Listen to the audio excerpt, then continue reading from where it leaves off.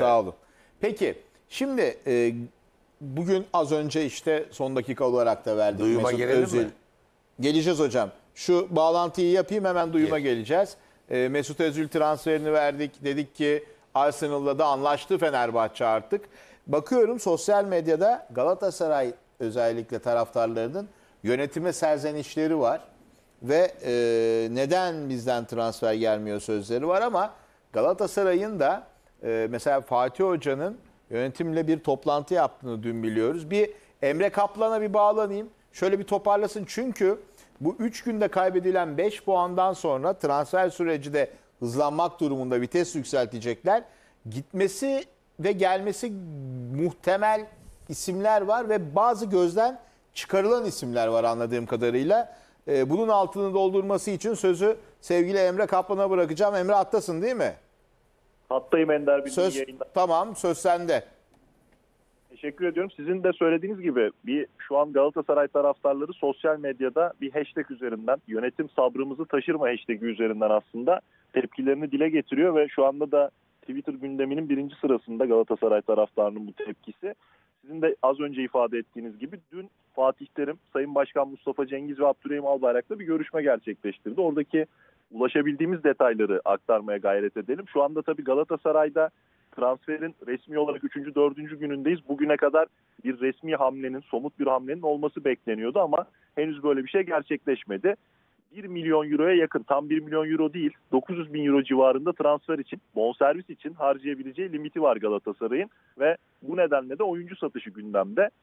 Dün aslında gün boyu da A-Spor ekranlarında paylaşmıştık. Galatasaray'da şu anda Muslera, Taylan, Arda Turan ve Emre Kılınç dışındaki tüm oyuncular için satılabilir raporunu Fatih Terim dün yönetime verdi. Gelecek tüm teklifler değerlendirilebilir dedi ve Galatasaray teklif bekliyor. Burada da satış listesinin ilk sırasındaki isim Luyendama.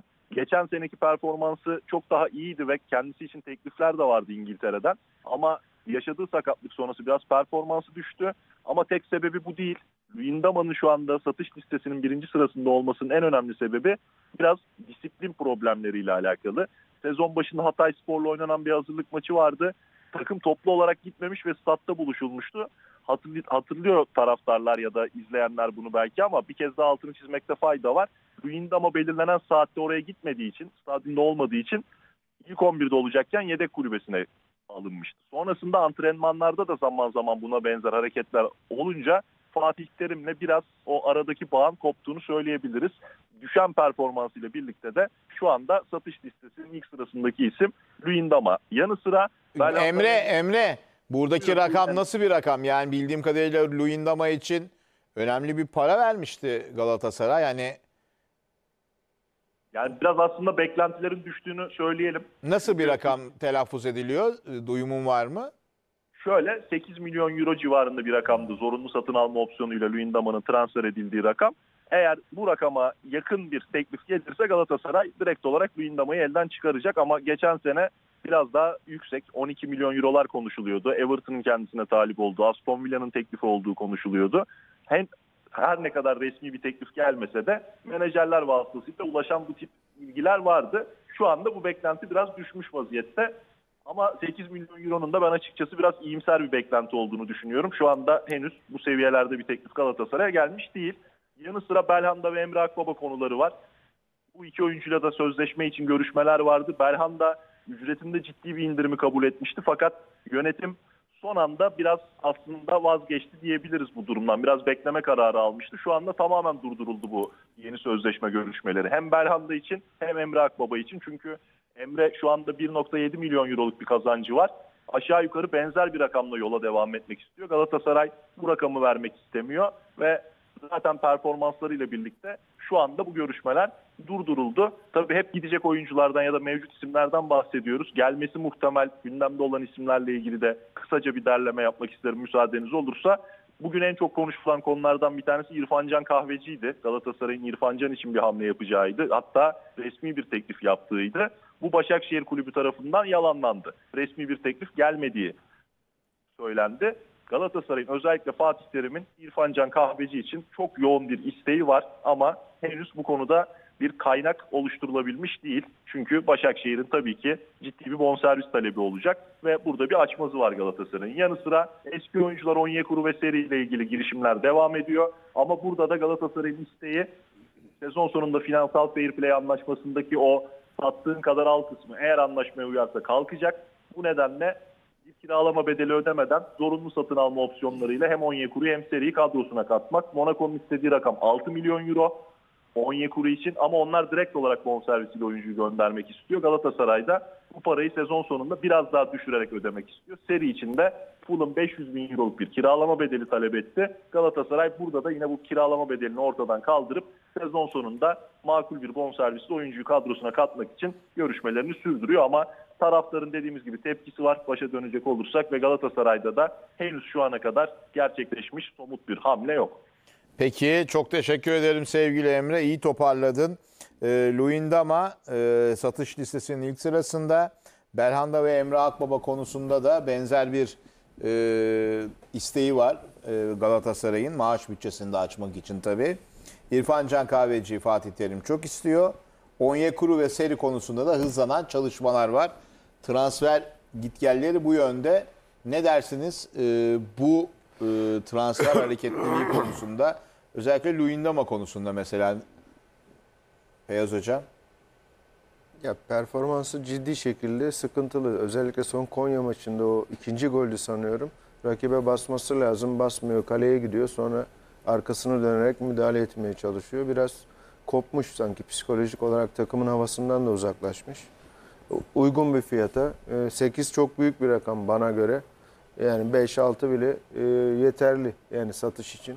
Bir de bu satma konusunda e, uygun teklifler gelince niye bu kadar hayır diye deniyor ben de onu anlamıyorum Türk futbolunda. Yani Önceki geçen sezon. sene Geçen uygun bir çok fiyat varken e, olsun yani formdaydı ama neticede biraz kulübün mali çıkarlarını da düşünmek zorundayız. Tabii. Ender şimdi satamıyorsun aynı oyuncuyu. Yani yüksek fiyatı bulduğumuz zaman satmamız lazım. Yani aynı şey Vida için de oldu Beşiktaş için. Yani diğer takımlarda da oluyor. İyi fiyatı görünce satmıyoruz. Oyuncu çok formda aman işte bizde kalsın. Ya ondan sonra bir sene sonra aynı oyuncuyu hiç elinden çıkaramıyorsun. Ama yanlış bilmiyorsam Luyendama'yı o fiyata aldık. O fiyatlara yakın aldık Galatasaray. Bonservis verdi. İşte az önce söyledi ya 8'e geldi opsiyonla Tabii. beraber. Emre Akbaba ve Belhanda ile de ilgili e, uygun bir şeyde hatta biraz daha düşük bir şeyle satılmalarında hiçbir sıkıntı yok. Çünkü performansları ciddi şekilde düşük yerlerde sürünüyor performansları. Ya Onların ya. üçünü birden elden çıkarıp bir Elden transfer çıkarsınlar da yapılabilir. yerine alacağın oyunculardan onlar kadar verim sağlayacak mı? Ya daha Haklısın. önceden denenmiş Onyekuru'nun Ama orada bir verilen performansı var. maaşlar yani. Hayır. çok ciddi maaşlar. Belhanda'nın Kamp aldığı süreci maaş. de yok. Yani alacağın şimdi- oyuncu hemen o hafta oynayacak. Şimdi yani bir Belanda'yı- aylık öyle hazırlanma Belan- şansın da yok aynen, yani. Belanda'yı gönderdin gönderdin. Çok pahalı. Ne veriyorsun? Üç buçuk veriyorsun. O civarda. Yerine alacağın oyuncuya bonservis vereceksin. Çünkü Belanda gibi bir oyuncuyu bedava alamazsın. Muhakkak sözleşmesi devam ediyordur. Onun, ona para vereceksin. Yani üç buçuktan daha mı aza gelecek ortalamasına baktığın zaman maliyeti. İşte Luyendama'ya 8 vermişsin. Bir, bir, bir buçukta senelik versen 3 yıllığını 11 milyon. Senediğinde 4 milyona geliyor. Gene 3,5 milyon euroya geliyor. Az mı yani? Yani yapmasın mı Galatasaray transfer? Hayır yapsın.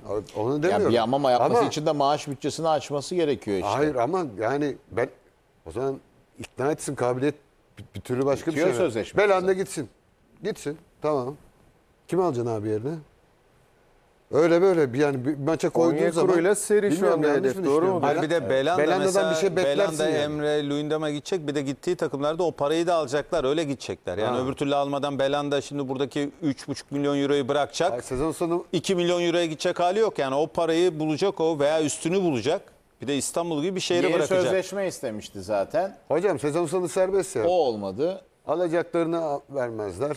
Ee, bonservisini ver- verirler eline. Belanda da gider. Sen dediğin gibi uzun vadeli bir sözleşmeyi. Üç Belanda beyin iki değil mi? yapar. He? Belanda beyin değil mi?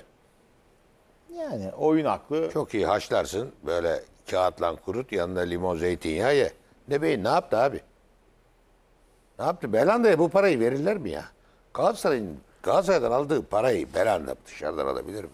Şu anda Hele bir hiçbir duyduğuma göre alamaz. menajeri varmış bir felaket diyorlar. Ya adamı döversin diyorlar. Bonservis ödediler hocam. Dediğin gibi 10 milyon euro yakın. Kimse vermez bu paraları abi bunlara ya. Siz vallahi vermezler ya. Bunlar nasıl alınmış, nasıl yapmışlar kulüplere? Bellanda'yı bu paraya kim verir abi? Bir söyleyin bana ya. Allah aşkına. Hocam bonservis parasına baksana 10 milyon euroya yakın bonservis ödediler yalnız. Aldığı para hariç. Ama o geldiği dönem piyasası vardı öyle. Ver de kim madem gitseydi Galatasaray o zaman yaptığı transfer Hocam işte Fenerbahçe istedi biliyorsunuz.